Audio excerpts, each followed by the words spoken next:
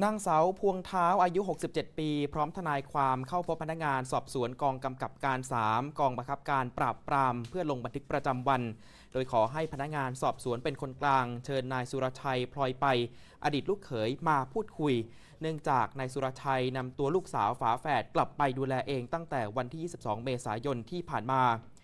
นางสาวยายของเด็กหญิงแฝดก็เปิดเผยนะครับว่าต้องการพบหลานสาวทั้งสองคน เนื่องจากหลังวันเกิดเหตุไม่ได้เจอกันอีกทำให้เป็นห่วง ส่วนตัวอดีตลูกเขยก่อนหน้านี้เคยพบหลานสาวทั้งสองคนปีละครั้ง และให้เงินช่วยเหลือประมาณ 5,000 ถึง 10,000 บาทต่อปีเท่านั้น แต่ไม่เคยดูแลอย่างจริงจัง จึงเกิดความกังวล เนื่องจากเป็นผู้เลี้ยงหลานทั้งสองคนมาตั้งแต่เด็ก